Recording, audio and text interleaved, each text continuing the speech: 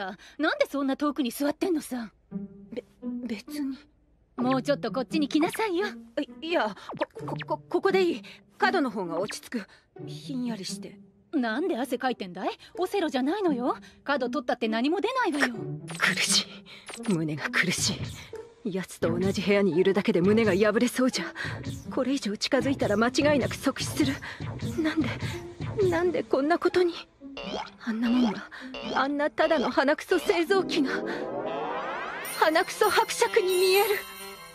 お前ひょっとしてまだあのこと気にしてんの？仕方ねえだろ泥酔してたんだから。腐っても吉原の女だろ。棒の1本や2本玉の2つや3つガン見してけん玉のごとく最低なことを言っとるが。この間は恥ずかしいところを見せてしまわなかったな君の姿を見てメロメロになってしまった。僕の全てを見てほしかったんだ。可愛いけん玉だっただろう。落ち着け。目を凝らせ。あれは愛禅香の作りし幻伯爵などどこにもいない。そんな離れちゃ大事な話もできないだろ。早く来な。近くね？いや近くに来ねえととは言ったけどさ。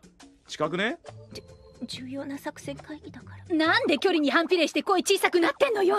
ツッキーどうしたあるか？様子おかしいあるよ。そんなことありんせん。かたくなにこっち見ませんよ。おいどうした？あなんか書き出した